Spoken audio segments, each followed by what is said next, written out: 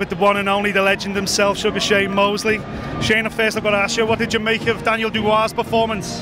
Oh man, looks great. He's very strong, um, fast. I actually worked with him up in uh, Big Bear. I seen him in Big Bear, him and uh, I guess one of the sparring guys he spars with. And uh, he looks really good. I mean, he's promising. He could be, I mean, he's, he's a heavyweight champion right now, but maybe he can get in the, with the big boys, you know? It's an exciting division again now, the heavyweights, and he's probably a little bit young at the moment for the likes of Wilder or AJ or, or Tyson Fury, but at 22 years of age, this guy's got at least 10 years left in this sport, hasn't he? He has a long time to go, and um, I mean, George Foreman in his career, 48 and 40, 47, 48, and he's only 22. He has a long, long ways. He's doing, he's doing all the right things. So, out of the current crop of heavyweights, which one's your favourite right now? The heavyweights. Um, I like Wilder, Deontay Wilder, and uh, I also like Anthony Joshua too. He's also a, a really good fighter. Tyson Fury is uh, he's a comedian, but he's but he's very exciting for the for the boxing game. You're one of the greatest lightweights the sport's ever seen. I've got to ask you, what do you make of this guy, this Vasily Lomachenko? Oh, I love him.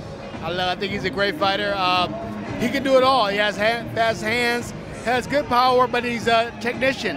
I mean, won two gold medals in the Olympics. He's even from the beginning when he had his first fight as a professional, he fought uh, this journeyman guy, and uh, he lost. But I uh, mean, I really thought he won. It was it was a good fight.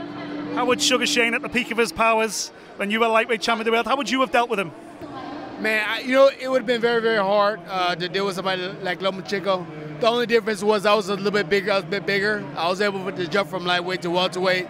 I'm not sure if Lomachenko, uh, we had the same, pretty much the same type of style, but uh, he threw more punches, but I was probably a little bigger than he was. So, you know, I have to get to myself. I, I, I think that I had a little bit more power. I think that the, the big fight would have been me and Roberto Duran. It was about the same size, you know.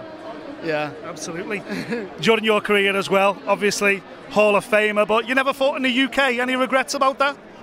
I do. I mean, I have a lot of UK fans, and um, you know, it, it would have been it would have been good to come out here and fight. But I mean, we have all these other young talents, you know, coming coming up. So, but but the UK is great. It's doing me very well, and I'm having a great time being out here.